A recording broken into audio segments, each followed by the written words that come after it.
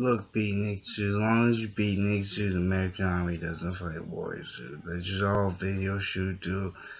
They gotta keep their sex, dude, and writing this fucking down, dude.